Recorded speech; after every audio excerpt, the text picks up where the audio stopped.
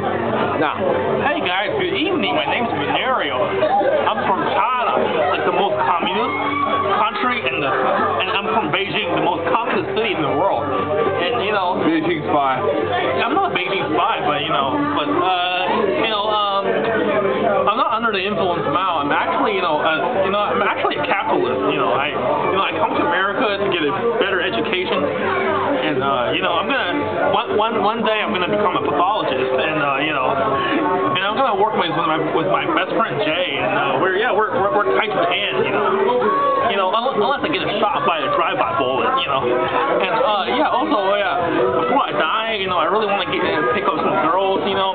So that's why that's why that's why that's why I'm gonna get a part-time job, like you know, so so I can get like some social skills and uh, yeah, yeah, yeah, social skills where I can get girls, you know, girls, like just like